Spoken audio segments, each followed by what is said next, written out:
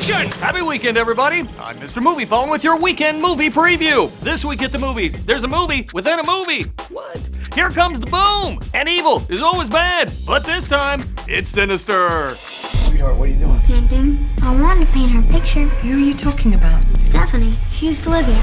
Ethan Hawke is a crime writer who discovers an ancient demon who uses old family films to cross over, murder families, and pull the kids over to the other side.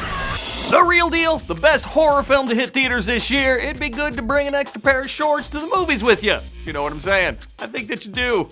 I'm in. The lives of six Americans are on the line in Argo.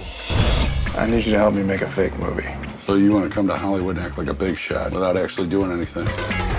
Yeah. You'll fit right in. Written and directed by Ben Affleck, it's based on the true story of six American hostages who, during the Iran hostage crisis, managed to escape to safety by posing as filmmakers pretending to be making a movie. The real deal, a crackerjack, wildly entertaining thriller with an A-plus cast, Affleck ups his game with Argo, one of the best films of the year. I'm in! A teacher is putting up his dukes, and here comes the boom.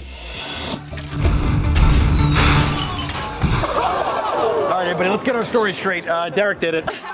Kevin James plays a slacker biology teacher who moonlights as an MMA fighter, raising money to save the school's music program and its teacher, played by Henry Winkler.